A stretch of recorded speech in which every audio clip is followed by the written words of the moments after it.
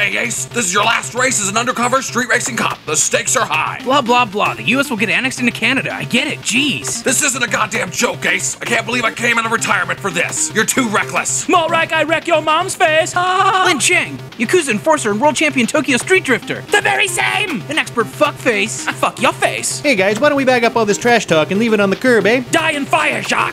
Actually, a huge fear of mine. Good luck, everyone.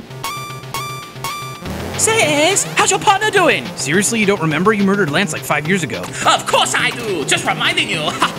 Son of a bitch, no way. you can't beat me in turn, Ace. I'm world drift champion. He's right, Ace. You'll have to wait for the straightaway and hit the nitrous. I don't need the nitrous, Chief. I can beat him fair and square. Now isn't the time for foolish pride. There's too much at stake. You don't need to remind me, Chief. Oh, it's more personal than that. Lin, what have you done? I took out a Riddle insurance. Right now, Stephanie, your girlfriend, and crew chief's daughter strapped to a Yakuza rocket, ready to be fired into space. The Yakuza have a space program? Space crime is the future. If I don't cross the line first, she becomes dead person in space. Damn it, Chief, I have to let him win. He already killed Lance. I won't let him take everything I have. Listen, Stephanie loves you, and I know if she was in your position, she'd go for the win. The stakes, Ace. They're too high, I know. Goddamn, Chief, look at us weepy bitches.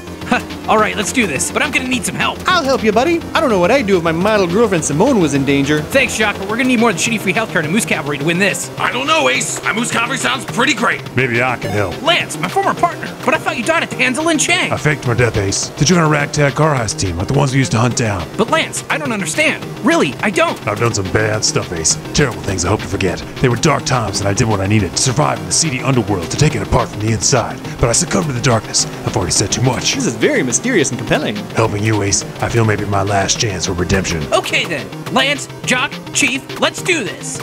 Ace, your only chance is to draft each other and fire off in a slingshot maneuver. Aha, a Guantanamo suit rack, just like the old days, baby. Alright, Jacques, you make the first move. Will do.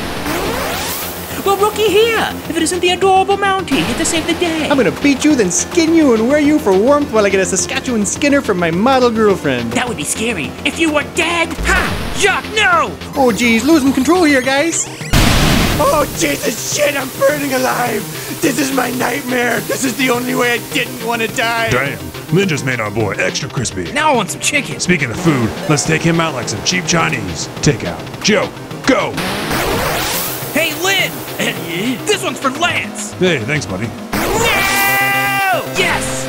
My shadowy past has been redeemed. Woo-wee, I knew you could do it, Ace. But Chief, what about Stephanie? Your daughter, my girlfriend. Oh, she is dead in space rack, I said. I've lost a daughter but gained a champion. At least she's up with the angels now. In space? There is no afterlife, just eternal fire!